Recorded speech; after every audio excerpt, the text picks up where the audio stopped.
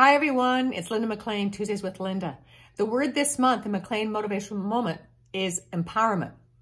What can you do to be a better leader and empower your team? Remember, empowerment is one of the single most important tasks that a leader learns.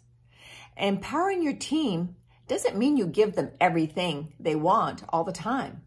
It means that you place trust in your team and let them run with their ideas and then guide them along the way. Yes, it's a form of accountability also, and that's fine.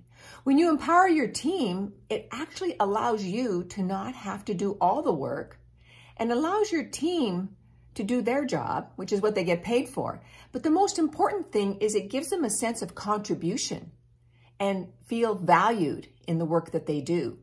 And so this truly is a great gift that as a leader, you can give your team and the gift will come back to you as a leader and your business. Now, if you want to watch more leadership tips and you're watching this on YouTube, click down below and subscribe.